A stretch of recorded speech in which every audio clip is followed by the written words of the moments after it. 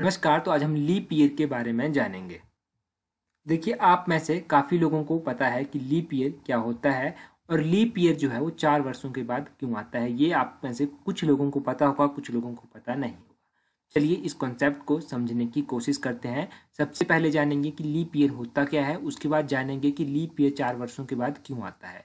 देखिए, leap year होता क्या है? लीप ईयर जो है, होता है, जो ईयर जो है चार से कम्प्लीटली डिवाइड हो जाता है, उस ईयर को कहते हैं लीप ईयर अब देखिए 2020 जो है, वो चार से कम्प्लीटली डिवाइड हो जाता है। तो फरवरी में उनतीस दिन आएँगे 28 दिन नहीं आएँगे। और ईयर में 2020 में 360 डेज़ आएँगे 365 डेज़ नहीं आएँगे। इससे पहले लीप ईयर था 2016 में, इसके बाद लीप ईयर आएगा 2024 में। परंतु ऐसा होता क्यों है कि ये एक दिन एक्स्ट्रा आता है? इस कॉन्सेप्ट को अब समझते हैं। इसके साथ ही हम एक एक्सेप्शनल कॉन्सेप्ट जानेंगे कि क्या 2100 जो है, जब 2100 वर्ष आएगा तो ये क्या लीप ईयर होगा या नहीं होगा? देखिए, अर्थ जो है अपने ऑर्बिट में घूमने के साथ साथ सूर्य के चारों तरफ़ भी चक्कर लगाती है। तो सूर्य के चारों तरफ़ और अपने ऑर्बिट में घूमने के लिए ये टाइम लेती है 365.256 डेज़ का।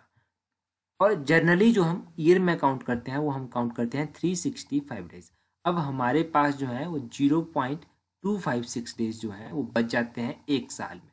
इसी तरह अगर चार सालों तक ये प्रोसीजर चलेगा तो चार सालों के बाद जो है, एक दिन हमारा कंप्लीट हो जाएगा। और उसी एक दिन को जो है, हम कहाँ पर काउंट करते हैं? उसी एक दिन को हम फरवरी में ऐड कर देते हैं और फरवरी जो है, वो अट्ठाईस के बजाय उनतीस दिनों का हो जाता है। देखिए, यहाँ से आप ये समझ गए होंगे कि क्यों जो है ये एक दिन बनता है, कैसे ये एक दिन बनता है, और इसको फरवरी में फिर काउंट कर दिया जाता है और उस ईयर को कहते हैं लीप ईयर अब देखो, अगर मैं आपसे क्वेश्चन पूछता हूँ कि इक्कीसों जो है वो लीप ईयर है या नहीं? तो आप 2100 को क्या करोगे? 2100 को आप चार से डिवाइड कर दोगे और आप कहोगे कि हाँ 2100 जो है वो लीप ईयर है। परंतु 2100 जो है वो लीप ईयर नहीं है। अब ये क्यों लीप ईयर नहीं है?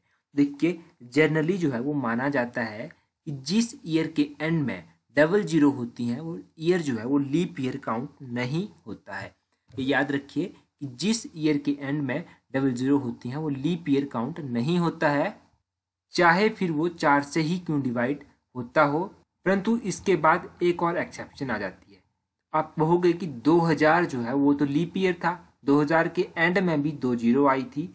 2000 लीप ईयर कैसे हो सकता है? तो इस हिसाब से 2000 लीप ईयर नहीं होना चाहिए। तो यहाँ पर एक एक्सेप्शन बताई गई है। एक्सेप्शन ये बताई गई है कि जो ईयर जो है, वो 400 से डिवाइड हो जाता है। उस ईयर को लीप ईयर कहते हैं। तो 2000 जो है, वो 400 से कम्प्लीटली डिवाइड हो जाता है। इसीलिए 2000 जो है, वो लीप ईयर है और 2100 जो है, वो लीप ईयर नहीं है। देखिए, ये थोड़ा सा पेचीदा कॉन्सेप्ट है 2100 और 2000 का। परंतु एग्ज़ाम पॉइंट ऑफ़ व्यू से भी ये आपके लिए इम्पोर्टेंट है।